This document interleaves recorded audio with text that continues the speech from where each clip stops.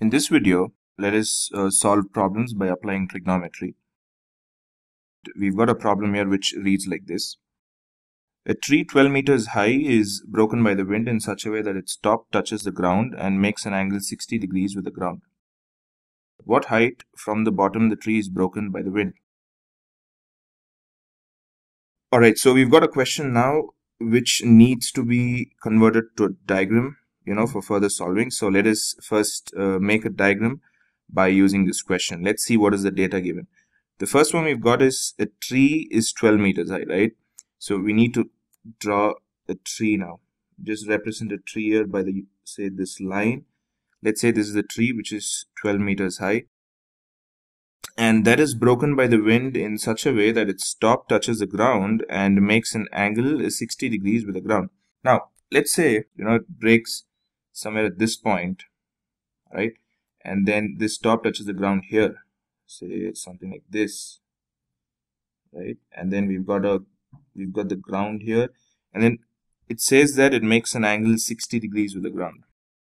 This is that 60 degrees. And now at what height from the bottom the tree is broken by the wind? So we need to find out this height here right now, the tree was 12 meters high overall. So it is broken at some point. We don't know exactly at what point has it broken. But then once it breaks, the top touches the ground at 60 degrees. All right, let's name the diagram quickly. So let this point be O and let the tree be AB. And the point at which it breaks is C. And now let us assume the height from which the tree broke as x. So if AC is, is x, BC should be 12 minus x, right? Because the total tree is 12 meters and then we've got to find this x. So if you subtract x from 12, it's going to be 12 minus x. So now what is that 12 minus x? That 12 minus x is this one because that's come down to the ground like this. So like this yes now we have to find x we've got the hypotenuse and we don't have anything on the ground that is OA so the data given here is the angle.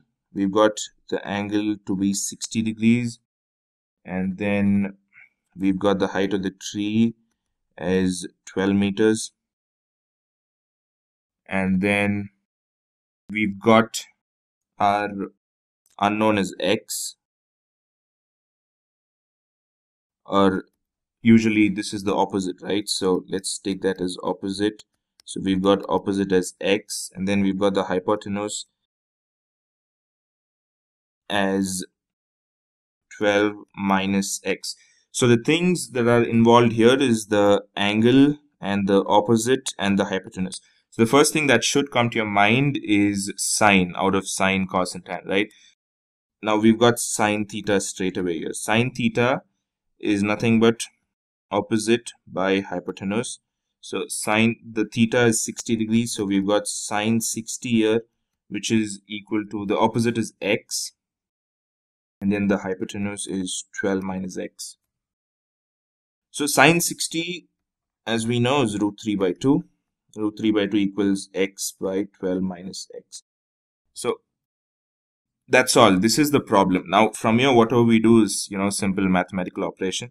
But as far as using trigonometry is concerned this is it. You know if you can if you can work out till here it's done.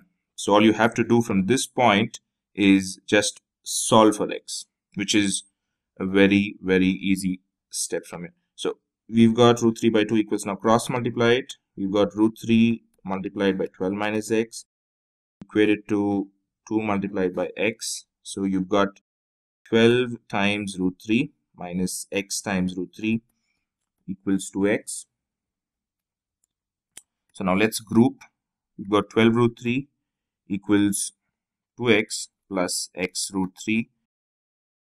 Another grouping here, take out x as common and then you've got 2 plus root 3. So x equals 12 root 3 over 2 plus root 3. So you know what you have to do when you've got a number with a square root in the denominator of a fraction, right? You have to rationalize it. So we've rationalized plenty before. So all you have to do is take the denominator and multiply to the numerator and the denominator with the sign changed. So you've got 12 root 3 over 2 plus root 3 multiplied by 2 minus root 3 over 2 minus root 3, which is solving this, we get 12 root 3 into 2 minus root 3 over 1. That's because 2 plus root 3 times 2 minus root 3 is uh, 4 minus 3, which is 1. So yeah, let's multiply 12 root 3 into 2 and then 12 root 3 into root 3. So 12 root 3 into 2 is 24 root 3 and 12 root 3 multiplied by negative root 3 is negative 12 root 3 times root 3 is 3 so that becomes 12 into 3 and that becomes 36 so 24 root 3 minus 36 now we know what is root 3 right? So root 3 is 1.732 so 24 times 1.732 minus 36 24 times 1.732 gives us 41.568 and subtract 36 from that and you get 5.568 meters. So here we are. The height from which the tree got broke by the wind is 5.568 meters. So the x here is nothing but 5.568 meters. Alright, so this concludes this video. I'll see you in the forthcoming videos with more such problems.